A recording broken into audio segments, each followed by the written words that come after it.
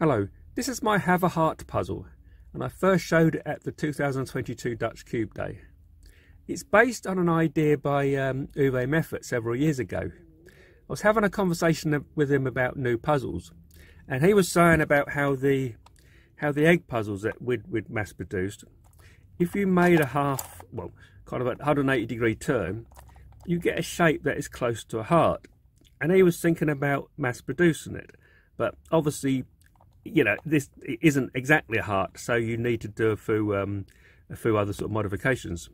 But it never, it never happened. He never did it, and um, sadly, um, earlier 2022, he passed away. And I just thought it would be nice to actually, you know, make the puzzle as he'd, he'd envisaged it.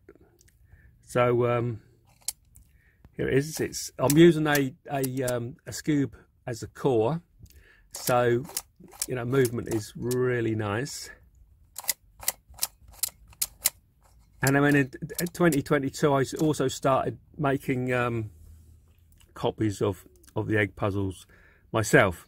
And um, over a period of months, I got the I got the technique a little bit better. So the um, the colouring is now a lot better than before because it was a bit mottled and and even this one's a bit kind of like transparent and doesn't look quite right. But yeah, so I'm I'm confident about now making these color this sort of coloured plastic, and um, I don't want to mix it up completely, but um, you can see sort of the sort of shapes it's going to go into. It's um, that's like, it really is just a pretty simple transformation idea, but I think it's quite nice.